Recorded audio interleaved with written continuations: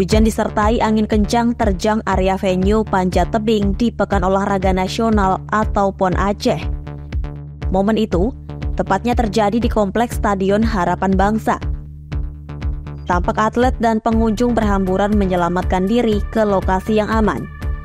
Sebelumnya, momen ini terjadi saat venue tersebut tengah disiapkan untuk pertandingan panjat tebing pada Rabu 18 September 2024 siang.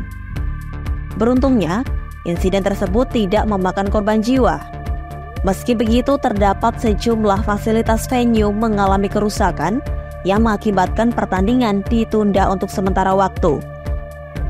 Sementara itu, mega atlet panjat tebing asal Aceh mengaku khawatir terhadap kondisi cuaca ekstrim yang melanda Aceh selama beberapa hari ini.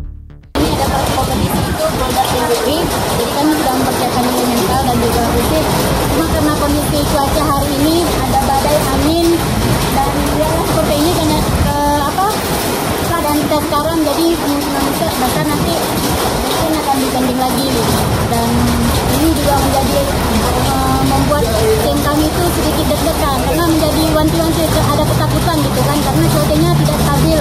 Sebelumnya, pada Selasa kemarin pertandingan atlet panjat tebing juga sempat ditunda selama satu hari akibat hujan. Selain insiden kerusakan venue di cabur panjat tebing, atap ambrol akibat hujan lebat juga terjadi saat pertandingan cabang olahraga menembak pada pukul 9 waktu Indonesia Barat Selasa kemarin.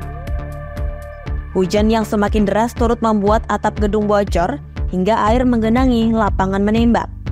Hal ini pun menjadi sorotan publik usai banyaknya kontroversi yang terjadi selama penyelenggaraan ajang olahraga tersebut. Publik menyorot mulai dari kualitas makanan yang dinilai tidak sesuai hingga venue yang kurang layak, padahal pemerintah telah menggelontorkan dana yang cukup besar untuk penyelenggaraan PON Aceh Sumut. Menurut Kemenpora, anggaran PON 2024 hampir mencapai 4 triliun rupiah yang berasal dari APBN dan APBD dua provinsi.